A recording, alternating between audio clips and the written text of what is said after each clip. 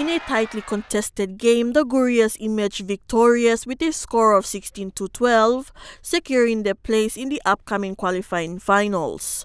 Meanwhile, the Gulf Isou, still searching for their first win, find themselves firmly at the bottom of the points table as the season nears its end.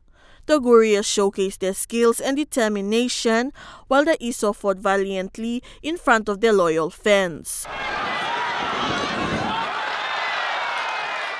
Gurias are now in third place on the ladder with 24 points, with Enga Mioks in second on 25 points, and Mount Hagen Eagles in first place on 26 points. This weekend matches will be intense as teams vie hard for the winning prize and cup title. Claire Mauta, Trukai Sports.